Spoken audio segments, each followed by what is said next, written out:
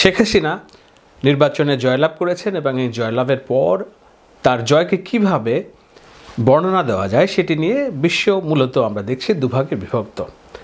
আমি যখন আলোচনা করছি তখন আমার পেছনের এই শিরোনামটা দিয়েছে দ্য ইকোনমিস্ট ইকোনমিস্টের মূল বক্তব্য হলো যে Bangladesh is now in effect a one party state একটা একদলীয় শাসন ব্যবস্থা, যেটা আমরা বলেছি, বলছি বারবার, এটা হচ্ছে বাকশাল টু বাংলাদেশের এই নতুন সরকারকে স্বীকৃতি দেওয়ার জন্য এরই মধ্যে আমরা জানি অন্তত এগারোটি রাষ্ট্র স্বীকৃতি দিয়েছে। এর মধ্যে উল্লেখযোগ্য হলো ভারত, চীন, রাশিয়া।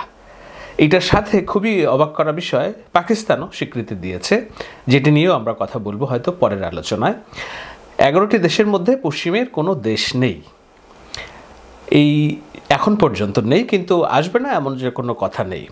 আমরা সর্বশেষ যুক্তরাষ্ট্র এবং যুক্তরাজ্যের যে বিবৃতি নির্বাচন নিয়ে সেটি একটা শেষ ভরসাস্থল হিসেবে হয়তো দেখতে পারি, কিন্তু সেই বিবৃতিটাও আসলের মধ্যে কি বলতে যাচ্ছে সেটি একটি বড় প্রশ্নবোধক চিহ্ন। নির্বাচনের আগে ধারণা করা হচ্ছিল যে যুক্তরাষ্ট্র এই নির্বাচনের পরপরই শেখ হাসিনা সরকারের উপর স্যাংশন সহ অন্যান্য চাপ প্রয়োগ করবে এবং একই পথ অনুসরণ করবে পশ্চিমা দেশরাও। কিন্তু আমরা দেখছি একদিন এবং চব্বিশ আটচল্লিশ ঘণ্টা পার হলেও এই নির্বাচনের পরে তারা স্যাংশন দেয়নি। এটা যেমন একটা ঠিক, সরকার দাবি করতে পারে যে তারা এই কঠোর যে যুক্তরাষ্ট্র এবং যুক্তরাজ্য, কঠোর পদক্ষেপ নেয়নি, কিন্তু তারা এই নির্বাচনের কোনো বৈধতা দেয়নি, সেটিও সত্য। কি বলেছে সেটি আমি আজকের এই আলোচনায় একটু আপনাদের বোঝানোর চেষ্টা করব যে যুক্তরাষ্ট্রের পর, এই নির্বাচনের নির্বাচনের পর যুক্তরাষ্ট্র কীভাবে দেখছে বাংলাদেশের নির্বাচনকে এবং যুক্তরাজ্য, অর্থাৎ ব্রিটেন কীভাবে দেখছে এবং এইটার যেসব নানা রকম ব্যাখ্যা হচ্ছে সেই সব ব্যাখ্যাগুলো সম্পর্কে একটু ধারণা দেওয়ার চেষ্টা করব। যুক্তরাষ্ট্রের স্টেট ডিপার্টমেন্ট যে আনুষ্ঠানিক বিবৃতি দিয়েছে, ম্যাথিউ মিলার স্পোক্স পার্সন তিনি জানুয়ারির আট নির্বাচন সম্পর্কে বলতে যে একটা জায়গায় বলেছেন যে দি ইউনাইটেড স্টেটস নোটস, অর্থাৎ নথিবদ্ধ করেছে the Awami League party won a majority seat in the January seventh parliamentary election United States remain concerned by the arrest of thousands of political opposition members and the reports of irregularities on election day. নির্বাচনের দিন যেসব অনিয়ম হয়েছে এবং বিরোধী দলের যে হাজার হাজার নেতাকর্মী কারাগারে সেটি নিয়ে উদ্বিগ্ন United States shares a view with other observers রাষ্ট্র যারা নির্বাচন পর্যবেক্ষণ করেছে, তাদের সাথে যুক্তরাষ্ট্র একমত that this elections were not free or fair and we regret that not all parties participated এই নির্বাচন অবাধ, সুষ্ঠু হয়নি এবং না অবাধ, না সুষ্ঠু, কোনোটাই হয়নি এবং আমরা অনুশোচনা করছি এবং দুঃখ প্রকাশ করছি যে নট অল পার্টিস পার্টিসিপেটেড এটা হলো যুক্তরাষ্ট্রের বক্তব্য।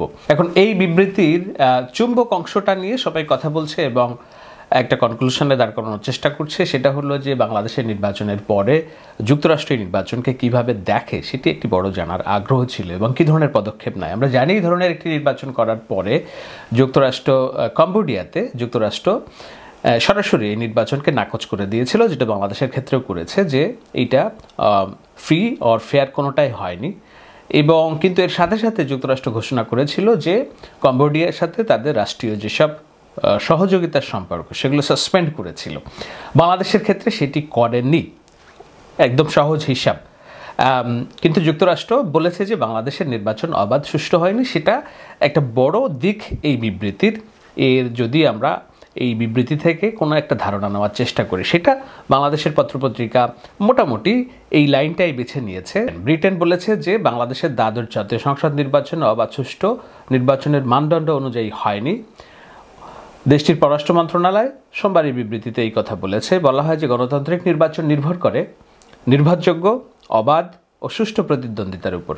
মানবাধিকার, আইনের শাসন ও যথাযথ প্রক্রিয়ার প্রতি শ্রদ্ধা, গণতান্ত্রিক প্রক্রিয়ার অপরিহার্য উপাদান। নির্বাচনের সময় এসব মানদণ্ড ধারাবাহিকভাবে মেনে চলা হয়নি। ভোটারদের বিরোধী দলের উল্লেখযোগ্য সংখ্যক নেতাকর্মীকে গ্রেপ্তার নিয়ে আমরা উদ্বিগ্ন। নির্বাচনকে সামনে রেখে নির্বাচনের প্রচার চলাকালে সহিংসতা, ভয়ভীতি দেখানোর কর্মকাণ্ডের নিন্দা জানিয়ে বিবৃতিতে বলা হয়েছে রাজনীতিতে এ ধরনের কর্মকাণ্ডের কোনো স্থান নেই। আর একই ধরনের মন্তব্য করেছে যে যুক্তরাষ্ট্র জাতিসংঘের হিউম্যান রাইটস কাউন্সিল, মানবাধিকার কাউন্সিলের প্রধান। তিনি বলেছেন যে পথ পাল্টান, অর্থাৎ যেই পথে হাঁটছেন সেই পথটা পরিবর্তন করুন। সত্যিকার অন্তর্ভুক্তিমূলক গণতন্ত্রের পরিবেশ তৈরি করুন। তারা বলেছে যে বাংলাদেশের রোববারের নির্বাচন, বিরোধী প্রার্থীদের সমর্থকদের উপর সহিংসতা দমন পীড়ন হওয়াটা পীড়াদায়ক বলে উল্লেখ করেন ফলকার তুর্ক। তিনি বলেন, এই নির্বাচন সামনে রেখে বিগত মাসগুলোকে বিরোধী দলের হাজার হাজার নেতাকর্মীকে নির্বিচারে আটক, ভয়ভীতি দেখানো হয়েছে। এ ধরনের কৌশল সত্যিকার অর্থে প্রকৃত গণতান্ত্রিক পরীক্ষার জন্য সহজ, সহায়ক নয়। আমি বাংলাদেশ সরকারের প্রতি এইসব নাগরিকের মানবাধিকার যেন সম্পূর্ণভাবে বিবেচনায় নেওয়া হয় এবং নিশ্চিত করা হয়, সেটার জন্য আহ্বান জানিয়েছে। আমরা যদি দেখি, অর্থাৎ পরপর এই যে তিনটি বিবৃতি, একটা হলো যুক্তরাষ্ট্র বলেছে বাংলাদেশের নির্বাচন অবাধ সুষ্ঠু হয়নি। মানবাধিকার কমিশন বলছে পথ পাল্টানো, অর্থাৎ যেভাবে হাঁটছেন সেভাবে হাঁটলে চলবে না। সত্যিকার অন্তর্বর্তীমূলক গণতন্ত্র পরিবেশ তৈরি করুন। আর তৃতীয় হচ্ছে, যুক্তরাজ্য বলেছে বাংলাদেশের নির্বাচন গণতান্ত্রিক হয়নি। এই যে যুক্তরাষ্ট্র এবং যুক্তরাজ্যের এই যে ইঙ্গোর মার্কিন অবস্থান, সেই অবস্থানটা আসলে এখান থেকে টেক আউট অর্থাৎ আমরা কি কনক্লুশন নিতে পারি?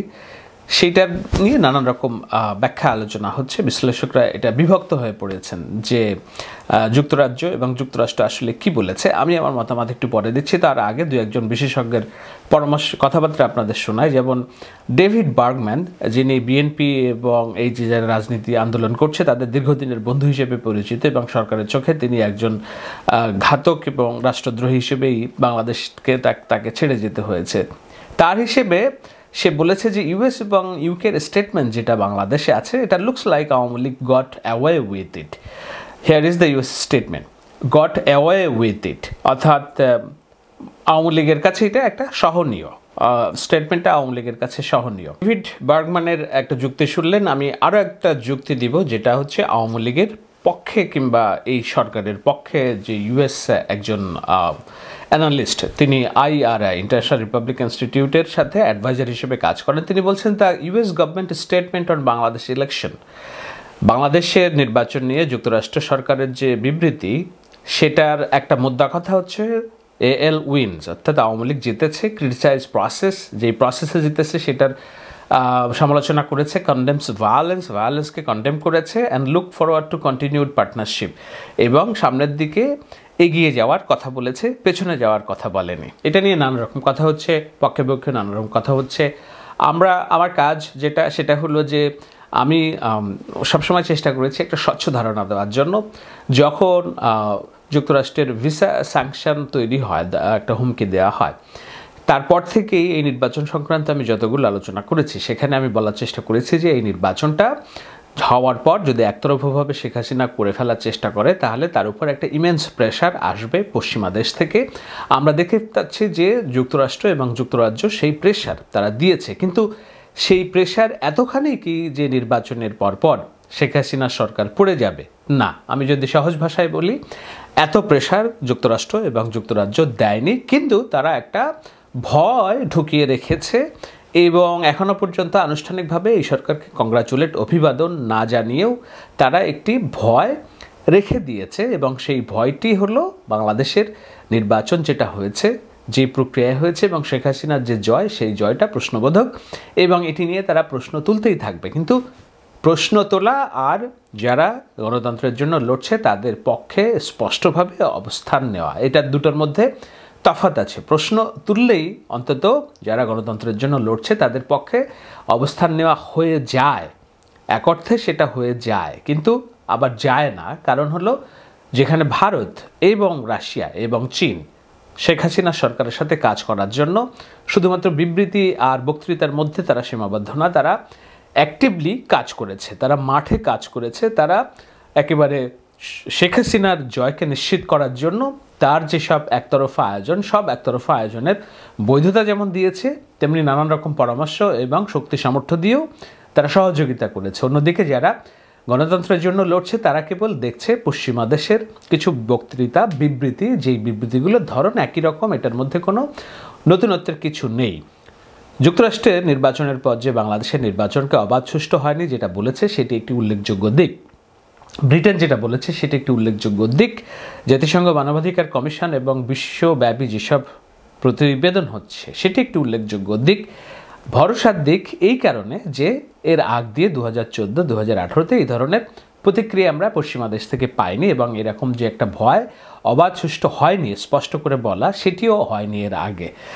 এখন এর মধ্য দিয়ে শেখ হাসিনা সরকারকে দেশ চালাতে হবে কিংবা সামনের দিনে এগিয়ে যেতে হবে এবং এর মধ্যে দিয়ে যারা আন্দোলন করছে রাজনীতির জন্য, নির্বাচনের জন্য, গণতন্ত্রের জন্য, তাদেরকেও এর মধ্য দিয়ে যেতে হবে। খুব বড় মারাত্মক কোনো সহযোগিতা এখনও যারা আসবে মনে করছেন, স্যাংশন এবং অন্যান্য, তারা হয়তো একটু বেশি আশা করছেন। আবার এমন হতে পারে যেহেতু যুক্তরাষ্ট্র এই ভয়টা রেখে দিয়েছে এবং তারা একেবারে সরাসরি নাকচ না করে দিয়ে বাংলাদেশের সরকারের কোর্স অফ অ্যাকশন দেখতে চাইছে। সুতরাং সামনের দিনগুলোতে অপেক্ষা করতে হবে এবং সেই অপেক্ষা আসলে কতদিন করতে হবে সেটিও এখনও নিশ্চিত বলা বলা যাচ্ছে না। নিশ্চয়ই সামনের দিনে তাদের অবস্থান এবং কর্মকাণ্ডের উপর আরও অনেক কিছু নির্ভর করবে। যখন নির্ভর করবে তখনও আমি আপনাদেরকে সেই তথ্যগুলো বিশ্লেষণ করার চেষ্টা করব। শাহেদ আলম শোর এই উপস্থাপনা এবং কার্যক্রম যদি আপনার ভালো লাগে, অবশ্যই এই চ্যানেলটি সাবস্ক্রাইব করবেন, ফেসবুকে ফলো করবেন, ইউটিউবেও সাবস্ক্রাইব করবেন। আর ফেসবুকে সামর্থ্য থাকলে অবশ্যই সাবস্ক্রাইব বাটনটিও চেপে দেখতে পারেন। আশা করি আপনাদের সহযোগিতায় শাহেদ আলম শো প্রতিদিন এই তার কার্যক্রম অনুসন্ধান এবং বিশ্লেষণ চালিয়ে নেবে।